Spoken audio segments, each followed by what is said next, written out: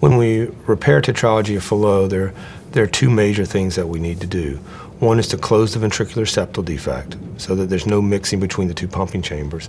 And the second is to relieve the blockage to the lungs.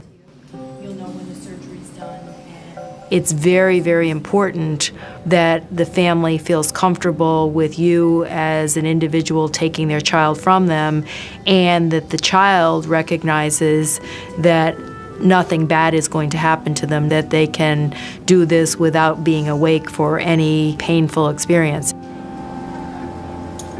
They'll go to the operating room. Uh, the anesthesiologist will put them to sleep. We'll then clean, prepare everything, their chest and abdomen sterilely, so that we can do the operation without infection.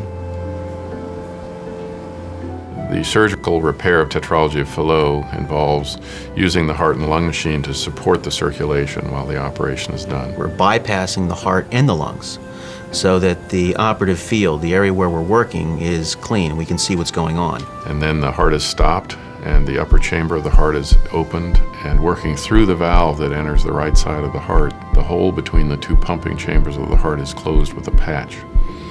The patch is made out of a sort of fuzzy Dacron material, so the lining of the heart grows over that and makes it nice and smooth. There can be blockage below the pulmonary valve, inside the ventricle from big muscle bundles.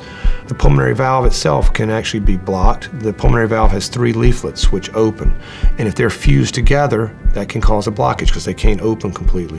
And Sometimes just by separating the leaflets, you can open up the valve. The pulmonary valve is a circle, and the outer layer that's called the annulus. If that's very small, even if you open up the leaflets, it's like having a small tube. It may be too little. And then you can also have blockage out in the pulmonary arteries themselves. So you can have blockage below the valve, at the valve, and above the valve. Sometimes, if the artery to the lungs is quite small, it's enlarged by opening it and putting a small patch over it to make it bigger so blood can easily get to the lungs. That's called a transannular patch. Some babies will tolerate that very well, others will need a valve put in at some point in their life.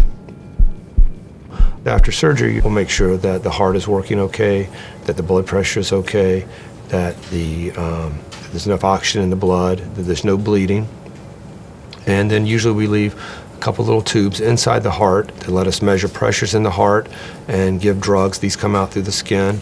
There's also usually two little blue pacing wires which let us change the heart rhythm. We then leave a drainage tube, and once everything's stable, the baby will come back up to the intensive care unit. That operation nowadays takes about three hours to do from start to finish, and the actual time it takes to do the repair inside the heart is only about 30 minutes.